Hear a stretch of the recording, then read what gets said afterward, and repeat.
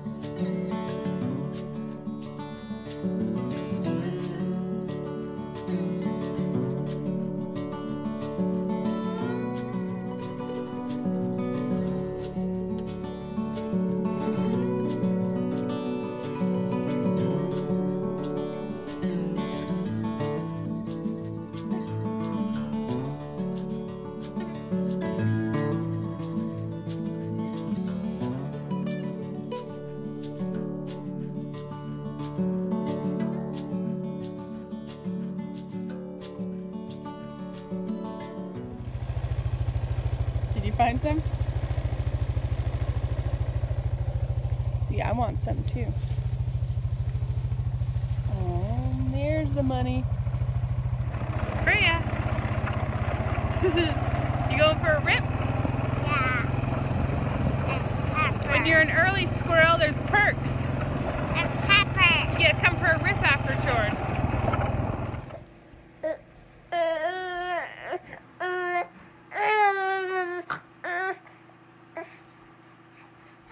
Are you boys all dressed for church? Yeah. I think we need to fix your collar here, Hamish. Uh, okay.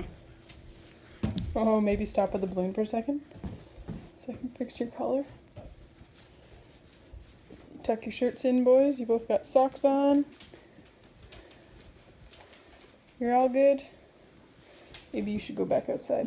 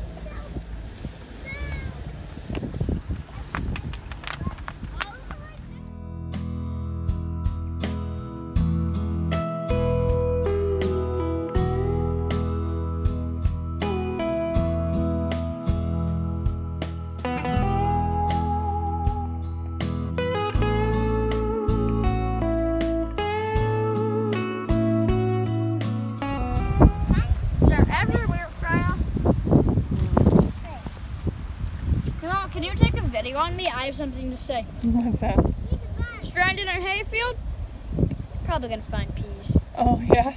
You're lucky it's a silage field, not a hay field. Okay, they're gonna.